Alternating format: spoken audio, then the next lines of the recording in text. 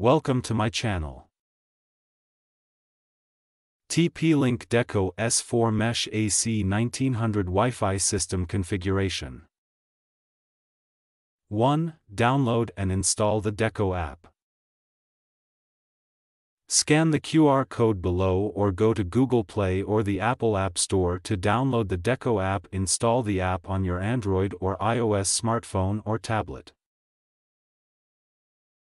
2. Log in or sign up with TP-Link ID. Open the app.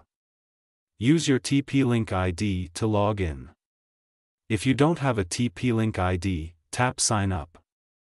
The Deco app will guide you through the rest.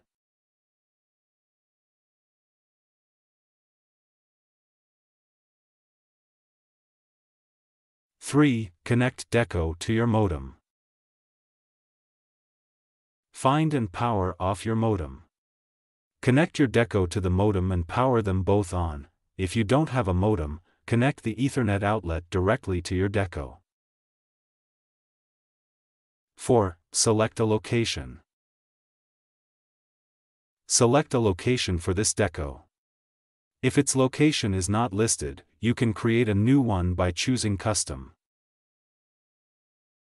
5. Create your Wi-Fi network. Set a network name and a password. These will be the name and password you use to connect your devices to Wi-Fi. 6. Add more decos. You can add more decos to expand Wi-Fi coverage. The app will guide you through the process of adding more decos one by one. After you successfully set up your Deco network, you will see the dashboard of the Deco app.